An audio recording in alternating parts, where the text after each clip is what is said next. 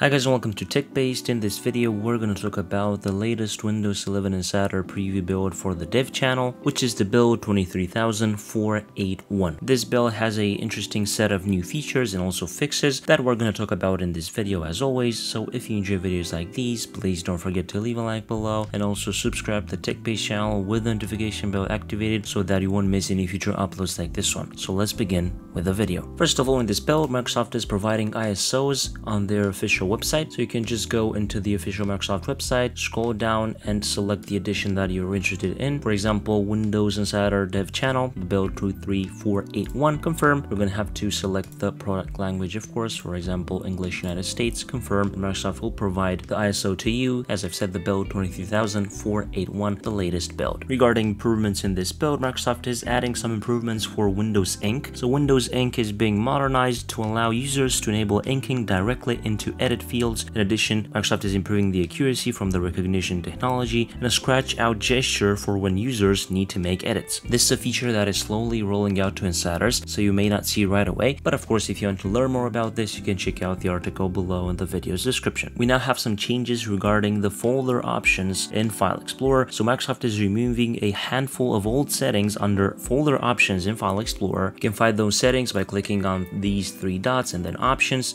and then view and they are removing these settings as part of an effort to clean up the number of settings for File Explorer. Many of these are legacy settings that have been around for ages and are not being regularly used by users on Windows 11. The following settings will no longer appear under folder options in File Explorer. We will no longer have hide folder merge conflict, always show icons never thumbnails, display file icon on thumbnails, display file type information on folder tips, hide protected OS files, show drive letters, show pop-up description for folder and desktop items, show encrypted or compressed NTFS files in color, use sharing wizard. But of course, as a note from Microsoft, these settings can still be accessed via the registry keys, so you can enable them if you want manually. Microsoft is also adding a new widget, which is called Focus Session. This is again slowly rolling out, so this is coming as a part of a clock app update. So if you want to have a chance to test this out, you should update your clock app inside the Microsoft Store. But to add this widget, just click on the widget section, click on the plus button, and you should have this new widget focus session. You can click on pin, and the widget should be pinned right here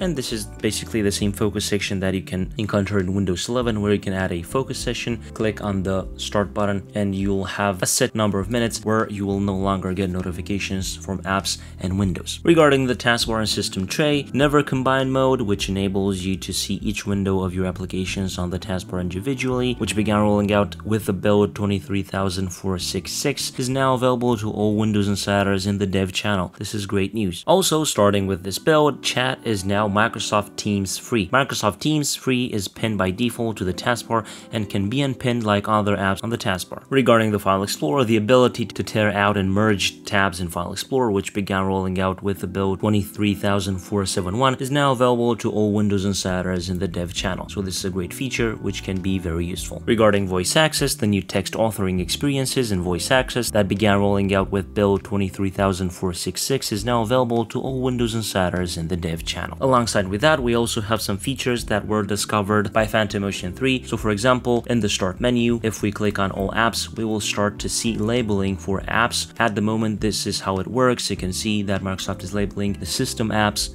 as system. So I think this is pretty interesting in the start menu. If you right click on the desktop and then click on personalize, in the personalization section, if you scroll down, you'll notice new option device usage with some interesting options. And if you have the new dev home app, if you enable the development section, the dev home app should be opened up and you should be able to start using that application as easy as that. So I think this is also pretty interesting and this could be a nice addition in this build. And also in this build, we're starting to see the first glimpses of the new Windows Copilot app or assistant that we will have in Windows 11, which is an AI assistant that will help users finish their tasks more easily. So as you can see, we have a nice little animation in the taskbar here. There are already some guides on how to enable the Windows Copilot, but I haven't um, managed to get it to work right now. I only have this icon right here that does a nice little animation, but of course, once I have more info and once I know for sure how you can enable certain things, I'll make a different video or an article on the website. So this is it regarding new features and improvements in this build. Now let's talk about a few fixes. Regarding the dev drive, Microsoft fixed an issue where filters beyond AV might be attached to your dev drive on reboot and also fixed an issue which could cause a bug check when using dev drive. Regarding File Explorer, Microsoft fixed an issue where the icons in the File Explorer context menu could be blurry. They also fixed an issue where sync status icons for files backing up to a storage provider were not reliably displayed. Also fixed an issue for authentication errors on File Explorer Home